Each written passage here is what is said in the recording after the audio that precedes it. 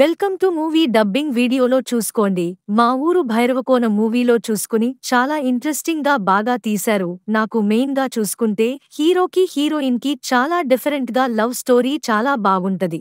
Main చూసుకుని హీరోలో చాలా క్యారెక్టర్స్కి చాలా వరకు బాగా ఇచ్చారని అనిపిస్తుంది. ఈ క్యారెక్టర్కి ఇప్పుడు మూవీ స్టోరీ విషయానికి వస్తే బసవా.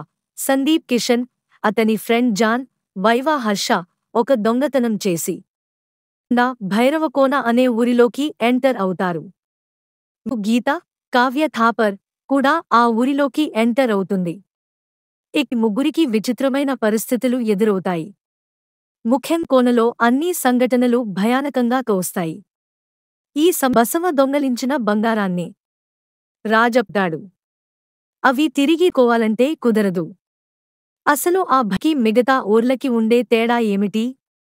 గరుడ పురాణలైన నాలుగు పేజీల్లో భైరవకోన గురించి ఏమి చెప్పారు. తాను ప్రేమించిన వర్ష బోల్లమ్మ కోసం బసవ ఎందుకు దొంగగా మారాడు? అతనికి భైరవకోన అయిన ట్విస్ట్ ఏమిటి?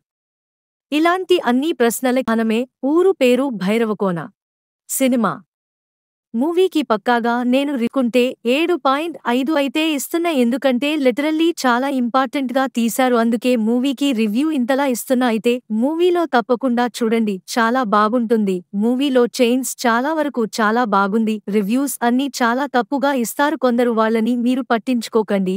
ఈ సినిమా చాలా బాగుంది. ఇంపార్టెంట్ చెప్పాలంటే నువ్వు తప్పకుండా వెళ్ళండి. అయితే వెళ్ళే ముందు మరి వీడియోకి లైక్ చేసి సబ్స్క్రైబ్.